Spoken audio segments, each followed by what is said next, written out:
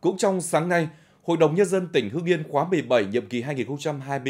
2021-2026 tổ chức kỳ họp thứ 3 để xem xét quyết định một số chủ trương chính sách quan trọng. Đồng chí Trần Quốc Toàn, Phó Bí thư tỉnh ủy, Chủ tịch Hội đồng Nhân dân tỉnh chủ trì kỳ họp.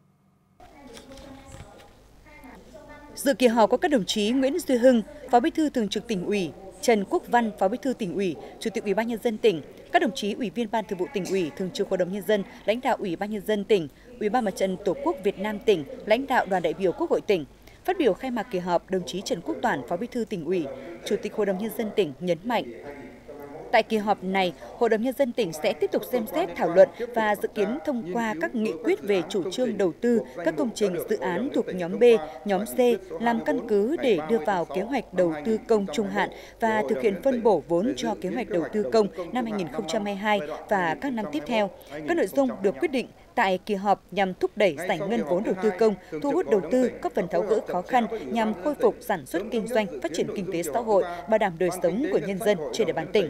Tại kỳ họp, Hội đồng Nhân dân tỉnh đã nghe, xem xét 64 tờ trình và dự thảo nghị quyết về việc phê duyệt chủ trương đầu tư các dự án như dự án đầu tư xây dựng tuyến tránh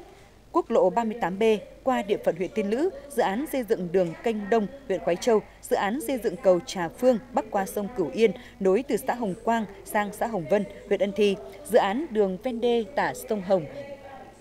Dự án mua sắm thiết bị dùng chung lớp 2, lớp 6 và phòng học ngoại ngữ đa năng thuộc đề án bảo đảm cơ sở vật chất cho chương trình giáo dục mầm non và giáo dục phổ thông giai đoạn 2021-2025. Dự án hoàn thiện trung tâm tích hợp dữ liệu và bảo đảm an toàn thông tin tỉnh Hưng Yên và nhiều dự thảo nghị quyết khác. Sau khi nghe báo cáo thẩm tra của Ban Kinh tế Ngân sách Hội đồng Nhân dân tỉnh về các tờ trình dự thảo nghị quyết tại kỳ họp, các đại biểu đã tập trung thảo luận, nhất trí thông qua 64 dự thảo nghị quyết tại kỳ họp.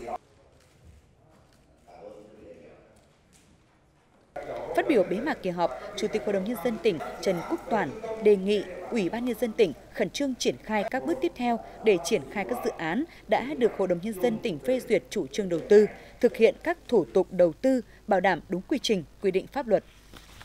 Thứ nhất, Ủy ban nhân dân tỉnh khẩn trương thực hiện các bước tiếp theo để triển khai dự án đã được Hội đồng nhân dân tỉnh phê duyệt chủ trương đầu tư,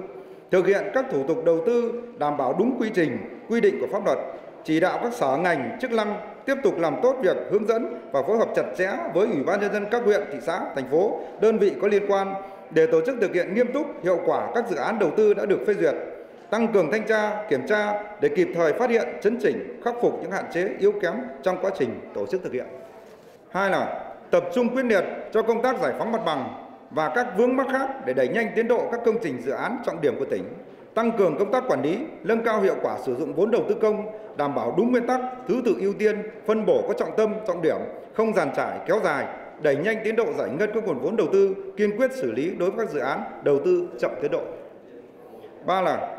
trong những tháng cuối năm 2021, Ủy ban nhân dân tỉnh, các sở, ban ngành và địa phương cần khẩn trương giả soát, dự báo đánh giá khả năng hoàn thành các chỉ tiêu, nhiệm vụ của ngành, địa phương mình trong năm, nhất là những chỉ tiêu còn thấp và các nhiệm vụ chưa đạt kết quả cao để chủ động các biện pháp tích hợp